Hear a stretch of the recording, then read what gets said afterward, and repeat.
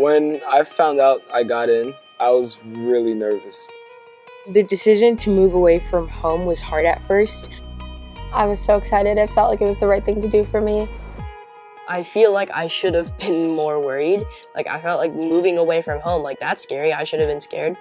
But I guess I wasn't. Pomfret has a great sense of community.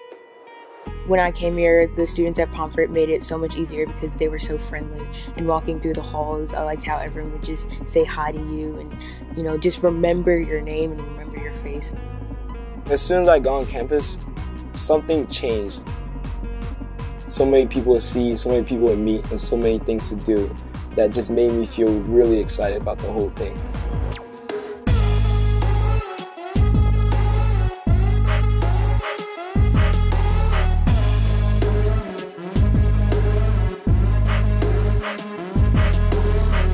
I think the part that makes me most comfortable in my classes is that there's no front of the classroom.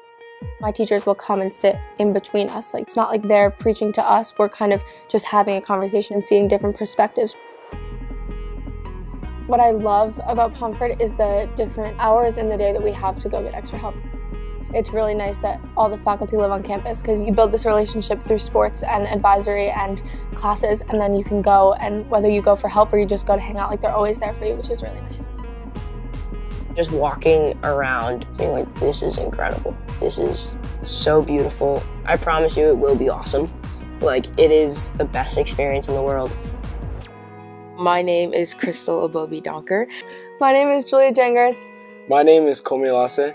I'm Gordy Kirchi. You belong here. We want you. We want your uniqueness. You're gonna love it here. It's gonna be amazing.